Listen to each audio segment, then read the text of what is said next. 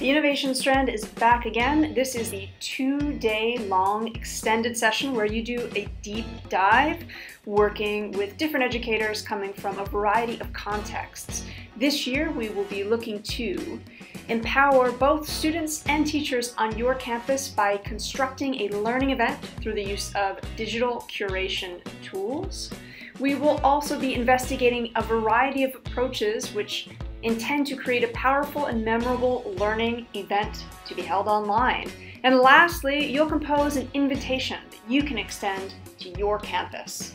I'm Tricia Friedman. I'm looking forward to seeing you at the Innovation Strand at Learning 2 this coming November.